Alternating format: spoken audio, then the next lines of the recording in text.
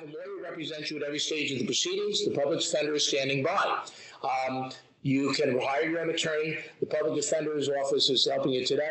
Beyond today, if you want the public defender's office to continue to represent you, you need to fill a 5A form out and apply for the public defender. If you qualify, someone from the Burlington County Public Defender's Office will be assigned to your case.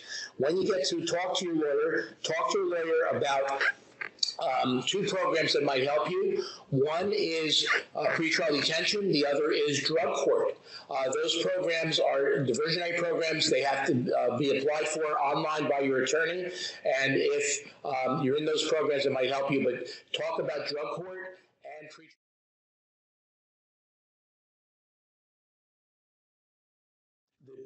We'll see if the prosecutor, the, the today, uh, the prosecutor, you have the right to pretrial release unless the prosecutor files a motion for your pretrial detention. And uh, if you, that happened, you'd be detained until the pretrial detention uh, hearing date. Um, I don't think that's happened though. So let's, uh, uh, before we uh, do that, I have three questions for you. Ms. Webb, are you a United States citizen? Yes or no? Yes. Yes. Are you are you a United States military veteran? Yes or no? No. No? Okay. Those questions are asked because they require additional uh, statements to be made to you, but I don't have to do that. Uh, uh, do you have any questions about your rights? Again, don't tell me about your case. Do you have any questions about any of the little details that I just gave you? No. No? Okay, very good. Was there a question there? I'll be happy to answer questions. I don't want to talk about your facts though, or your, or your situation. Like I said before, Your Honor, I have a gap in my tooth and sometimes I leak. I would not, I would never intentionally, um. Oh, no, you see, again, exactly what I asked you do not, so many times. Ma'am, you are, you are presumed innocent and you have the right to remain silent. You're not trying to explain the charges. We're not having a trial today, okay? I'm not the person that's going to decide if you're guilty or not guilty. That would either be a different judge or it would be a jury. So just hold on to it. And, you know, you say things you think that might be helping you, uh, they may not be helping you. All right, so apparently you have no questions about your rights. Let me hear from the prosecutor, please. Judge, uh, the defendant's uh, public safety assessment comes back a four for failure to appear, three for new criminal activity. There is no release recommended pursuant to the PSA. However, the state has not sought uh, the defendant's detention and asked you uh, release her pretrial monitoring level two. Mr. Rizzo. No objection, Your Honor. Mr. Prosecutor, back to you. Are you requesting uh, no contact with the uh, alleged victim? Yes, Judge. Uh, there, I mean, there, uh, ha- not having heard from the victim, we're going to err on the side of caution and ask for a no contact order at this time. Okay. Uh, Ms. Webb, you are released on monitoring level two. Um, monitoring level two requires you to report to pretrial services every two weeks. Normally, it's done in person the first time, then two weeks go by, you report by phone. Then two weeks go by, you report in person, and then two weeks after that by phone. Uh, but in-person reporting is not happening these days. Uh, please uh, check with pretrial service as to exactly how you will do your reporting. A lot of it is probably going to be by phone, but they'll give you exact details. But you have to report uh, every two weeks, uh, and if you don't do that, excuse me, you will have uh, there'll be a violation of your uh, release conditions. All of these conditions I'm going to tell you. Um, I do believe it's one three three Goodwater. I don't know. I'm not sure. Okay. What's your address in Browns Mills? It's PO Box six three one. Browns Mills. Well, I don't think you live in a PO box. So where, where do you where do you live outside the PO box? Sometimes I stay with my boyfriend. Other times I stay. Right. Where where do you live outside of the PO box? I'm homeless. I'm sorry.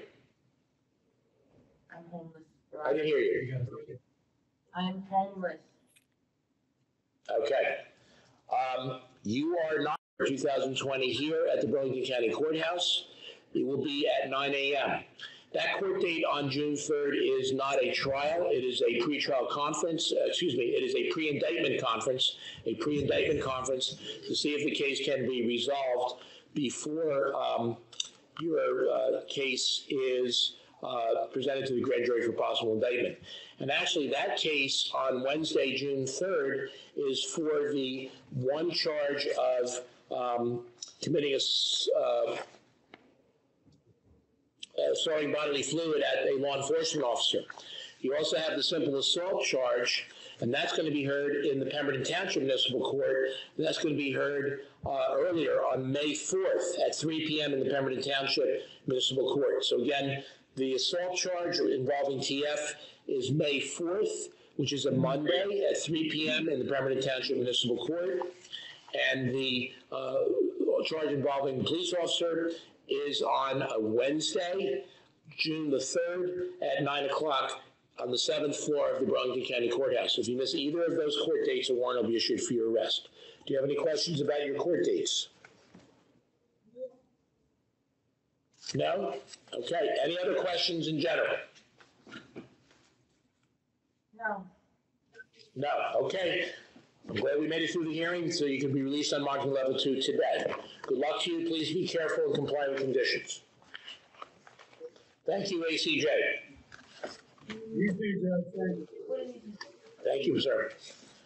All right, we will move on to the John Emilio case, which is a motion to modify release conditions, uh, case number twenty six six eight. Thank you, uh, Mr. Singhal. I think that we're switching over to Mr. Remy.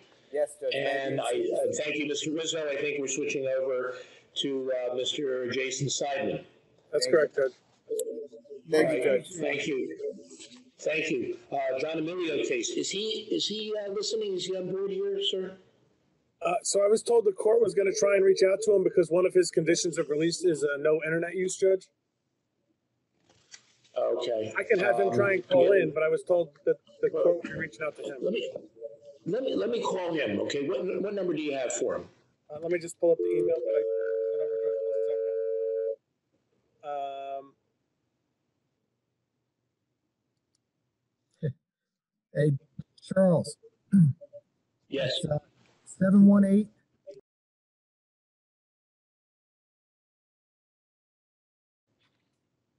six nine five six. thank you. Appreciate that.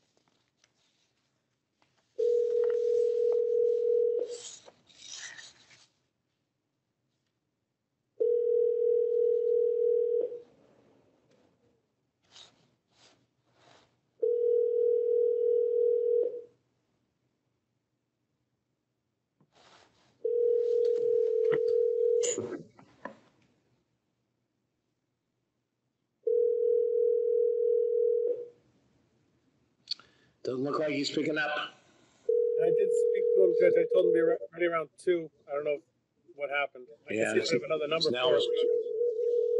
What's that? I'm just checking to see if I have another number. Okay. I have, uh, I can, you can try this one, Judge, three, four, seven. Uh, your attorney is present on the Zoom and the prosecutor is too. We're gonna start the hearing right now, okay, sir? Okay, sir. All right, very good. Stand by. It should not take that long. Uh, please, please don't drive a vehicle while we're talking, okay? No driving, sir. Okay, No driving. very good.